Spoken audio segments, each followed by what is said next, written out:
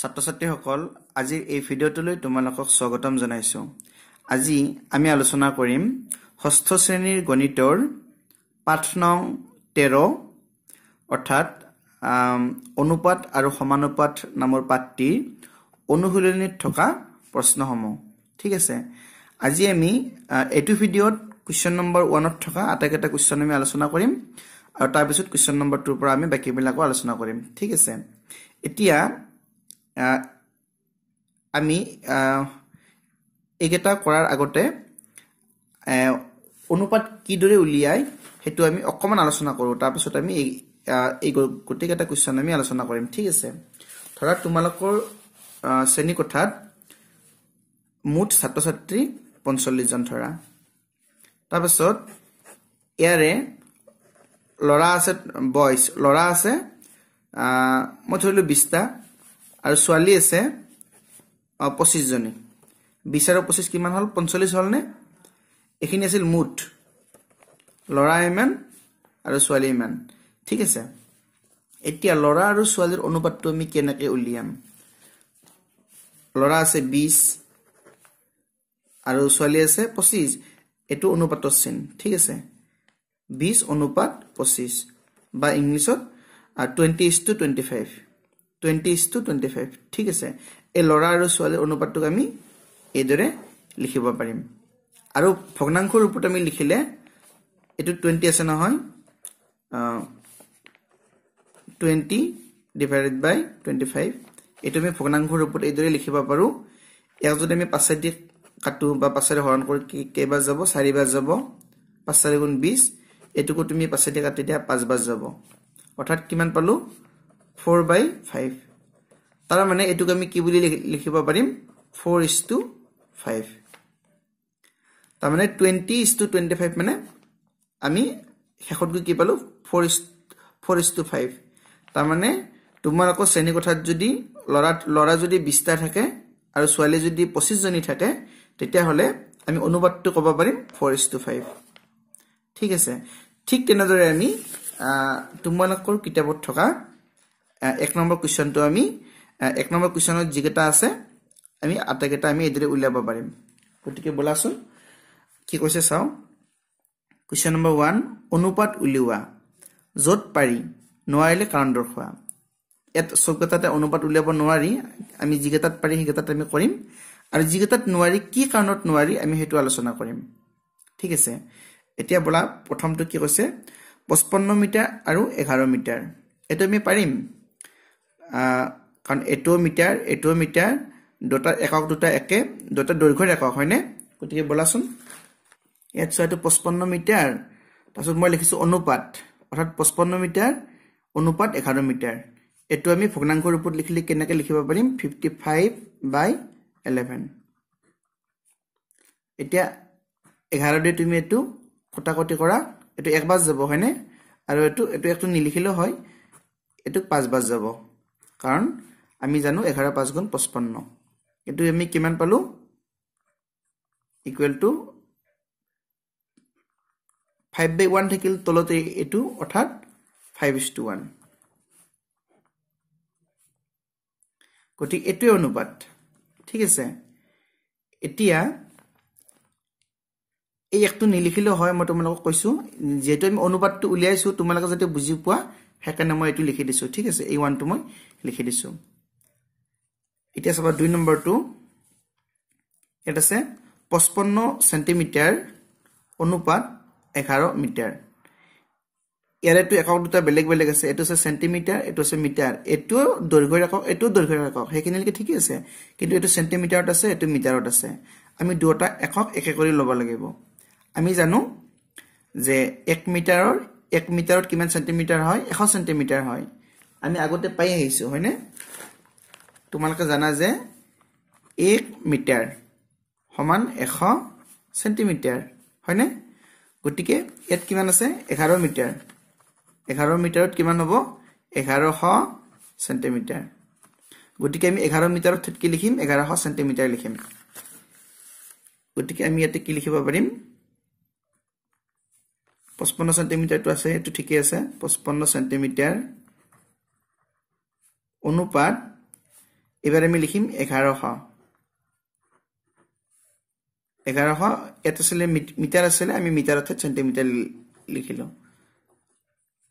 Fifty five divided by eleven hundred এতিয়া এইটো তুমি কটাকটি কৰা। এইটোক যদি আমি এঘাৰ দিয়ে যদি কাটো তেতিয়াহ'লে কেইবাৰ যাব? পাঁচবাৰ যাব। এইটোক যদি এঘাৰ দিয়ে কাটো এইটো একবাৰ আৰু দুটা শূন্য আছে। অৰ্থাৎ এশবাৰ যাব। এইটোক পাঁচেদি কাটিলে একবাৰ এইটোক পাঁচেদি কাটিলে দুইবাৰ পাঁচ দুগুণ দহ আৰু এটা শূন্য। অৰ্থাৎ কি পালোঁ আমি? ইকুৱেল টু ওপৰত থাকিল ওৱান আৰু তলত থাকিল টুৱেণ্টি। যদি আমি অনুপাতত লিখোঁ ওৱান ইজ টু টুৱেণ্টি। এইটো আনচাৰ এতিয়া বোলা তিনি নম্বৰটো কি আছে আমি চাওঁ।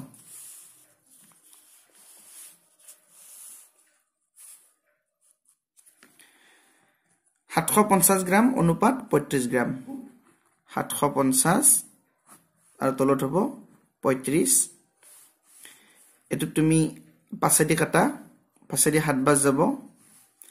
এইটোক যদি আমি পাঁচেদি হৰণ কৰোঁ কেইবাৰ যাব? পাঁচ এক গুণ পাঁচ দুই বেগী থাকিলে এইটো হ'ল পঁচিছ পাঁচ পাঁচ গুণ পঁচিছ আৰু এটা শূন্য আছে। গতিকে এশ পঞ্চাছক এতিয়া হাতেৰে হৰণ যেনে নাই চোৱা। হাতেদি পোন্ধৰটো হৰণ কৰিলে দুবাৰ সাত দুগুণ চৈধ্য। ইয়াত এক আহিল দহ হ'ল হাতেৰে দহক হৰণ কৰিলে ভাগে সৰি যায়। অৰ্থাৎ সাতৰ গুণিতক দহ নহয়। হয়নে? সেইকাৰণে আমি কি লিখিম? One fifty by seven. Equal to one fifty is to seven. এইটো অনুপাত। ইয়াত চোৱা সাতশ পঞ্চাছ গ্ৰাম আৰু ওৱান পইণ্ট ফাইভ কিলোগ্ৰাম। এইটো দিয়া আছে চাৰি নম্বৰটো। এইটো আছে গ্ৰাম এইটো আছে কিলোগ্ৰাম। আমি কিলোগ্ৰামটো গ্ৰামলৈকে লৈ যাব লাগিব তেতিয়াহে একক দুটা একে হ'ব। আমি জানো তোমালোকে এইদৰে লিখিব পাৰা। আমি জানো যে এক কিলোগ্ৰাম এক কিলোগ্ৰাম সমান এক হাজাৰ গ্ৰাম।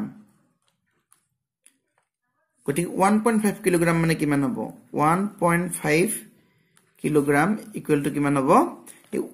এই ওৱান পইণ্ট ফাইভৰ লগত এক হাজাৰ পূৰণ হ'ব। হয়নে?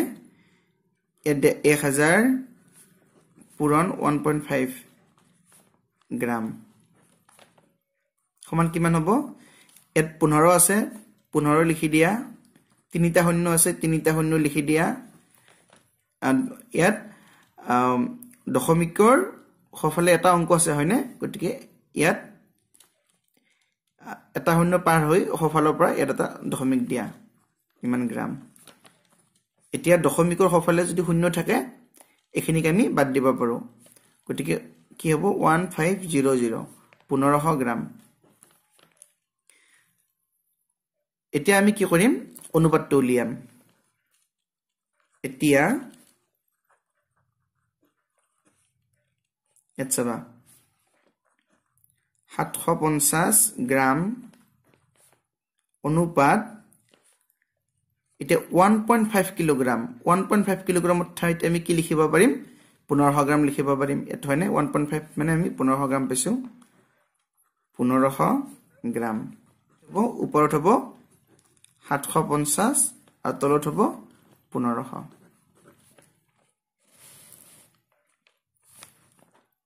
এইটো যদি আমি কটাকটি কৰোঁ কি হ'ব? পাঁচেদি যদি কাটো পাঁচ তিনি গুণ পোন্ধৰ দুটা শূন্য। এইটোকো যদি পাঁচেদি কাটো পাঁচ এক গুণ পাঁচ ইয়াত থাকিল দুই আহিল পঁচিছ হ'ল পাঁচ পাঁচ গুণ পঁচিছ আৰু এটা শূন্য এশ পঞ্চাছ। আমি ডাইৰেক্ট কাটি দিব পাৰোঁ হয়নে?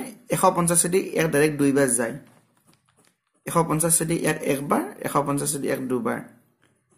হয়নে? কাৰণ ডেৰশ ডেৰশটো তিনিশই হ'ব। কিমান হ'ব? One by two. Equal to one is to two. এইটো হ'ব আনচাৰ। পাঁচ নম্বৰটো চোৱা দুই টকা আৰু এক টকা। ইয়াৰ অনুপাত দুটা কিমান হ'ব? দুই টকা অনুপাত এক টকা। ওপৰত হ'ব দুই আৰু তলত হ'ব এক। গতিকে এইটো কি লিখিব পাৰিম? টু ইজ টু ওৱান সেইটো আনচাৰ ছয় নম্বৰটো দুই টকা আৰু দহ পইচা। ইয়াত টকা আছে ইয়াত পইচা আছে। আমি একক দুটা একে কৰি ল'ব লাগিব। আমি জানো দুই টকা মানে কিমান? দুশ পইচা। এক টকাত যদি এশ পইচা হয় তেতিয়াহ'লে দুই টকাত দুশ পইচা। দুই টকা। আমি প্ৰথমতে এইটো লিখি ল'লোঁ ঠিক আছে? দুই টকা সমান দুশ পইচা। আমি এতিয়া সহজ কৰি ল'লোঁ এইটো ঠিক আছে? এতিয়া এতিয়া আমি অনুপাতটো উলিয়াম। এই ইয়াত আছে দুই টকা আমি দুই টকাৰ ঠাইত দুশ পইচাটো আমি লিখিলোঁ। দুশ পইচা। অনুপাত এই দহ পইচাটো।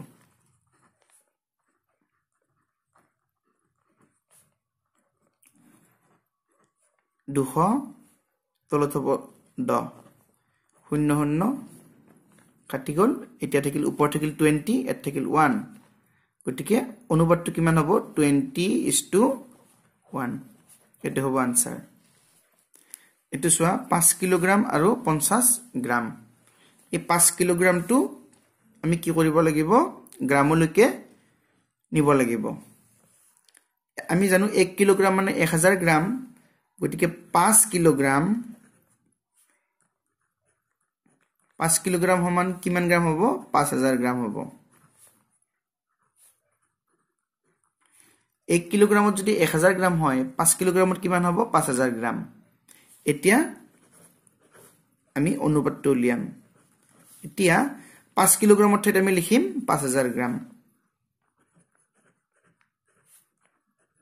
পাঁচ হাজাৰ গ্ৰাম অনুপাত পঞ্চাছ গ্ৰাম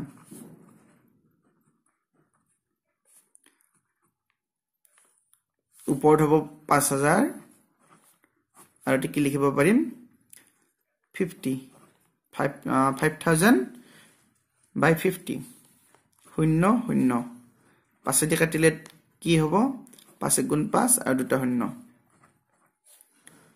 গতিকে এইটো কি হ'ব? ওপৰত থাকিল এশ অৰ্থাৎ হাণ্ড্ৰেড ইজ টু ওৱান তলত একো নাই মানে ওৱান সেইটো হ'ব আনচাৰ আঠ নম্বৰটো চোৱা পাঁচ কিলোগ্ৰাম আৰু পাঁচ মিটাৰ এইটো হৈছে ভৰ বা ওজনৰ একক। আনহাতে এইটো হৈছে দৈৰ্ঘ্যৰ একক। গতিকে আমি একক দুটা এই এই ৰাশি দুটা আমি একে একে এককত পাব নোৱাৰোঁ। গতিকে তুমি তোমালোকে চোৱা ইয়াৰে আগৰটোত চোৱা ইয়াত আছিলে কিলোগ্ৰাম গ্ৰাম। আমি কিলোগ্ৰামটো আমি গ্ৰামলৈ নিব পাৰোঁ। বা প্ৰয়োজন সাপেক্ষে আমি গ্ৰামটো কিলোগ্ৰামলৈ নিব পাৰোঁ। ইয়াত ওপৰত চোৱা এইটো টকা এইটো পইচা। পইচাটো টকালৈকে আমি পৰিৱৰ্তন কৰিব পাৰোঁ। আনহাতে টকাটো আমি পইচালৈকে নিব পাৰোঁ। কিন্তু ইয়াত পাৰিম জানো? কিলোগ্ৰামটো আমি মিটাৰলৈ নিব পাৰিম জানো? বা মিটাৰটো আমি কিলোগ্ৰাম কিলোগ্ৰামলৈ নিব পাৰিম জানো? নোৱাৰোঁ। সেইকাৰণে এইটোৰ অনুপাত নহ'ব। ইয়াত আমি কি লিখিম? যে অনুপাত উলিয়াব নোৱাৰি। কাৰণ ৰাশি দুটা একে এককত পাব নোৱাৰি। ঠিক আছে ইয়াত লিখিম অনুপাত উলিয়াব নোৱাৰি।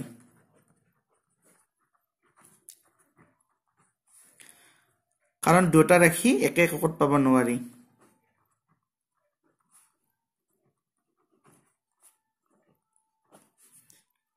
এতিয়া বোলা ন নম্বৰটো কি আছে আমি চাওঁ দুশ টকা আৰু দুশ জন। এইটো আছে টকা দুশ টকা। এইটো আছে দুশজন এইটো মানুহক বুজাইছে। আৰু এইটো টকা পইচা বুজাইছে হয়নে? গতিকে ইয়াৰো মানে একক দুটা আমি বেলেগ বেলেগ পালোঁ। এককটো বেলেগ বেলেগ পাইছোৱে তাৰোপৰি টকাটো আমি জনলৈকে পৰিৱৰ্তন কৰিব নোৱাৰোঁ বা জনটো আমি টকালৈকে পৰিৱৰ্তন কৰিব নোৱাৰোঁ। সেইকাৰণে এইটো অনুপাত উলিয়াব নোৱাৰি। আগৰটো নিচিনাই তোমালোকে লিখিবা যে অনুপাত উলিয়াব নোৱাৰি। এতিয়া দহ নম্বৰটো চাবা। দহটা হাতী আৰু পাঁচটা ঘোঁৰা। এইটোৰ অনুপাত লাগে। দহটা হাতী। দহটা হাতী। অনুপাত পাঁচটা ঘোঁৰা।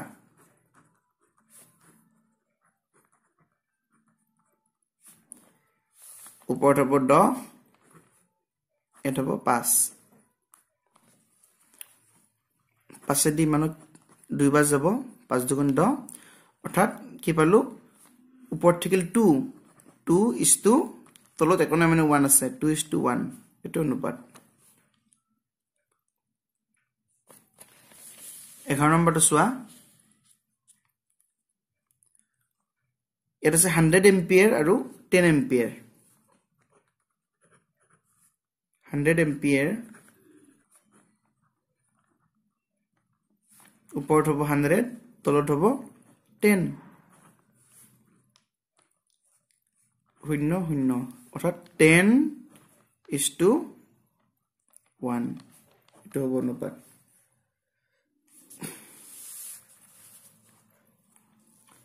শেষৰটো চাবা বাৰ নম্বৰটো।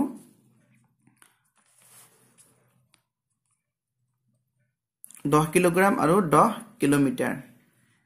এইটো আগৰ নিচিনা হৈছে হয়নে? এইটো হৈছে কিলোগ্ৰাম এইটো হৈছে কিলোমিটাৰ। গতিকে অনুপাত উলিয়াব নোৱাৰি। কাৰণ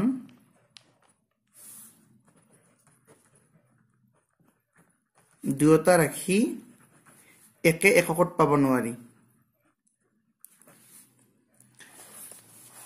মৰমৰ ছাত্ৰ ছাত্ৰীসকল এতিয়া ভিডিঅ'টো ইমানেই আছিলে। আমি পৰৱৰ্তী ভিডিঅ'ত কুৱেশ্যন নম্বৰ টুৰ পৰা আমি আলোচনা কৰিম। এতিয়া ভিডিঅ'টো চোৱাৰ বাবে ধন্যবাদ।